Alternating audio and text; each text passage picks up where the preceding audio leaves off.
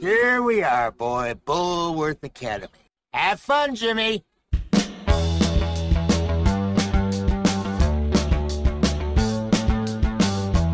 I bet you think I'm funny, don't you? A laughing stock? Not really. I mean, you dress a little weird, but...